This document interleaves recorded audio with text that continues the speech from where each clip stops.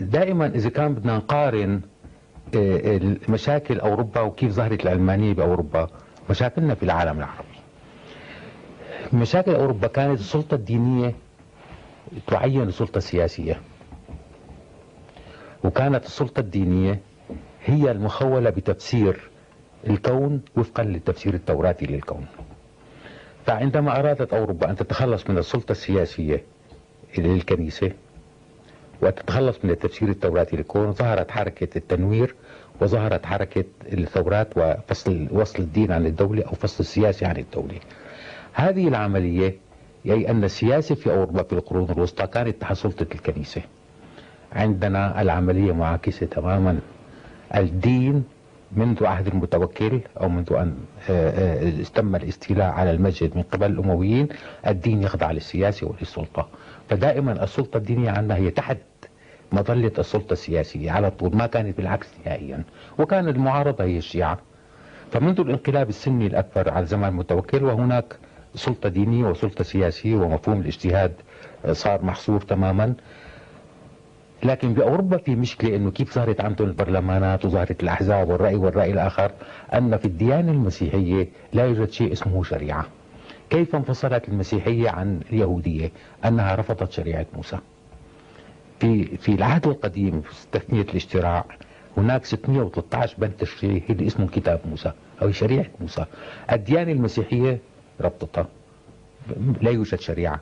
في الديانة المسيحية أخذت فقط الوصايا العشر هي أخذت الكود الأخلاقي وبقيت عليه ورفضت شريعة موسى.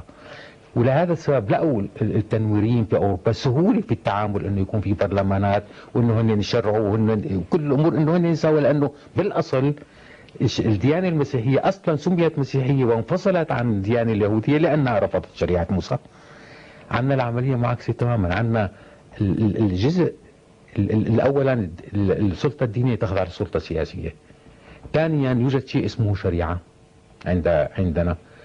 فلا فلا يمكن ان أن نحل المشكلة التشريعيه هي موجودة عندنا غير موجودة باوروبا، لسبب أنا أقول للعلمانيين لا تحاولوا تقلدوا أوروبا لأن أوروبا ما عندنا المشكلة، عندنا مشكلة ثانية تماما، نحن مشكلتنا مع الفقه مو مع العلوم. مشكلتنا مشكلة فقهية مشكلتنا أنه هذا يجوز وهذا لا يجوز هذا حرام وهذا حلال يحق ولا يحق. ما مشكلتنا موجود ولا مو موجود كما كانت المشكلة في أوروبا. فمشكلتنا هي مع الاستبداد السياسي ومشكلتنا مع وجود منظومة تشريعية تحت اسم الفقه الإسلامي تحاول أن تفرض نفسها أو, أو تقول للناس هذا هو الإسلام. و و وكل الهدف أنه, أنه نطورها.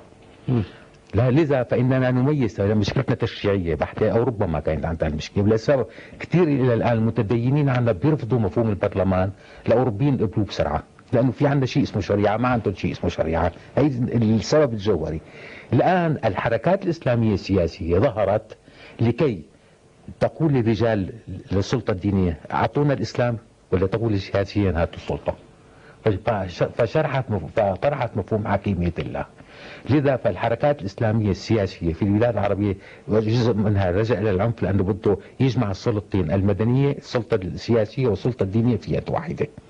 ومن هنا حصل هذا مفهوم العنف والإرهاب وهذا. وإذا ممكن ممكن نخصص حلقة خاصة لهذه العملية إنه كيف ومن نفس الوقت بنلاحظ إنه الحركات السياسية الإسلامية على طول في علاقة غير جيدة مع السلطة الدينية.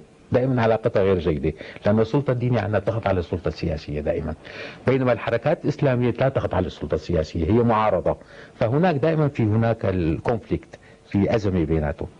الآن كون الأمر التشريعي كيف نوفق بين الشريعة الإسلامية والبرلمان والرأي الآخر والرأي وحرية الصحافة والاستفتاء والتصويت؟ علما هذه المفاهيم أصلا لا وجود لها في الفقه الإسلامي الموروث.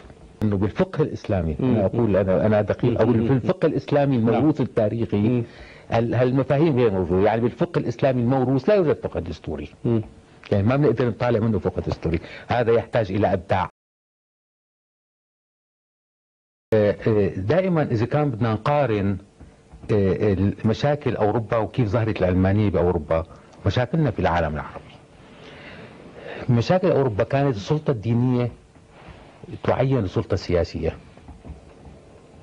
وكانت السلطة الدينية هي المخولة بتفسير الكون وفقا للتفسير التوراتي للكون. فعندما أرادت أوروبا أن تتخلص من السلطة السياسية للكنيسة وتتخلص من التفسير التوراتي للكون ظهرت حركة التنوير وظهرت حركة الثورات وفصل وصل الدين عن الدولة أو فصل السياسي عن الدولة. هذه العملية أي أن السياسة في أوروبا في القرون الوسطى كانت تحت سلطة الكنيسة. عندنا العملية معاكسة تماما. الدين منذ عهد المتوكل أو منذ أن تم الاستيلاء على المسجد من قبل الأمويين الدين يخضع للسياسة وللسلطة. فدائما السلطة الدينية عندنا هي تحت مظلة السلطة السياسية على طول ما كانت بالعكس نهائيا. وكان المعارضة هي الشيعة. فمنذ الانقلاب السني الأكبر على زمان المتوكل وهناك سلطة دينية وسلطة سياسية ومفهوم الاجتهاد صار محصور تماما. لكن بأوروبا في مشكلة أنه كيف ظهرت عندهم البرلمانات وظهرت الأحزاب والرأي والرأي الآخر؟ أن في الديانة المسيحية لا يوجد شيء اسمه شريعة. كيف انفصلت المسيحية عن اليهودية؟ أنها رفضت شريعة موسى. في في العهد القديم في تثنية الاشتراع هناك 613 بند تشريعي اللي اسمه كتاب موسى أو شريعة موسى. الديانة المسيحية ربطتها لا يوجد شريعة. الديانة المسيحية أخذت فقط الوصايا العشر هي أخذت الكود الأخلاقي وبقيت عليه ورفضت شريعة موسى. ولهذا السبب لقوا التنويريين في أوروبا سهولة في التعامل إنه يكون في برلمانات وإنه هن يشرعوا وهن كل الأمور إنه هن يساووا لأنه بالأصل الديانة المسيحية أصلا سميت مسيحية وانفصلت عن الديانة اليهودية لأنها رفضت شريعة موسى. عندنا العملية معاكسه تماما، عندنا الجزء الاولا السلطة الدينية تخضع للسلطة السياسية. ثانيا يوجد شيء اسمه شريعة عند عندنا فلا فلا يمكن ان أن نحل المشكلة التشريعيه هي موجودة عندنا غير موجودة باوروبا، بس أنا أقول للألمانيين لا تحاولوا آه، تقلدوا أوروبا لأن أوروبا ما عندنا المشكلة، عندنا مشكلة ثانية تماما، نحن مشكلتنا مع الفقه مو مع العلوم. مشكلتنا مشكلة فقهية مشكلتنا أنه هذا يجوز وهذا لا يجوز هذا حرام وهذا حلال يحق ولا يحق.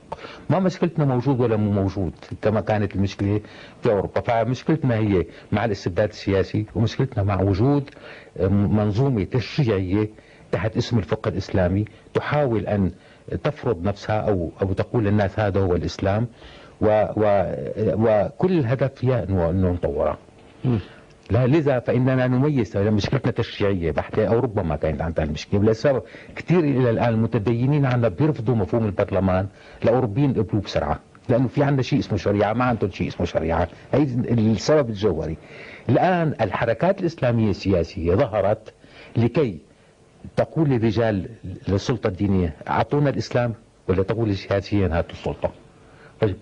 فشرحت فطرحت مفهوم حكيمية الله.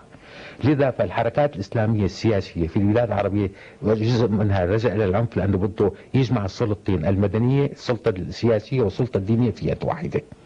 ومن هنا حصل هذا مفهوم العنف والإرهاب وهذا. وإذا ممكن ممكن نخصص حلقة خاصة لهذه العملية إنه كيف وبنفس نفس الوقت بنلاحظ إنه الحركات السياسية الإسلامية على طول في علاقة غير جيدة مع السلطة الدينية. دائما علاقتها غير جيدة لأن السلطة الدينية عندها تخضع على السلطة السياسية دائما. بينما الحركات الإسلامية لا تخضع على السلطة السياسية هي معارضة. فهناك دائما في هناك الكونفليكت في أزمة بيناتهم. الآن كون الأمر التشريعي كيف نوفق بين الشريعة الإسلامية والبرلمان والرأي الآخر والرأي وحرية الصحافة والاستفتاء والتصويت؟ علما هذه المفاهيم أصلا لا وجود لها في الفقه الإسلامي الموروث. إنه بالفقه الإسلامي أنا أقول أنا أنا دقيق. أقول في الفقه الإسلامي الموروث التاريخي هالمفاهيم غير موجودة؟ يعني بالفقه الإسلامي الموروث لا يوجد فقه دستوري.